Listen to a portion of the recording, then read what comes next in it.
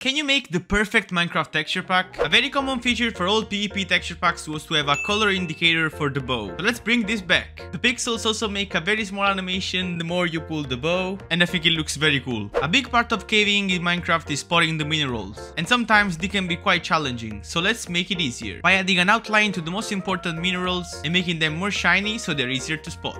One of the coolest nether features is that the fire in certain biomes is actually blue, but what about the end? Can we make something similar? After some coding, the fire in the end is now purple. And this goes also for the crystal, of course. Subscribe for part 3.